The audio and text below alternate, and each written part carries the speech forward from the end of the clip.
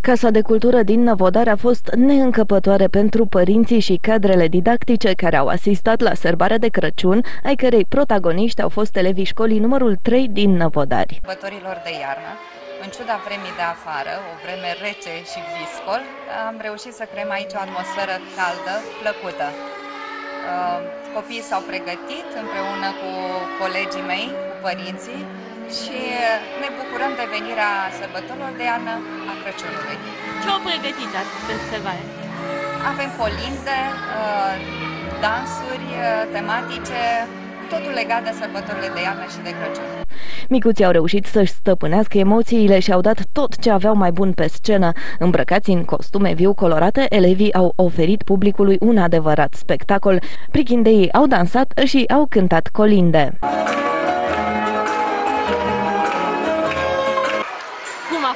Ai avut emoții? Am avut foarte multe emoții. Ți-a ieșit bine, Sherry. Eu cred că te-am ieșit bine, chiar nu am auzit eu. Îți place să cânti? Foarte mult. La final, copiii au strâns ropote de aplauze.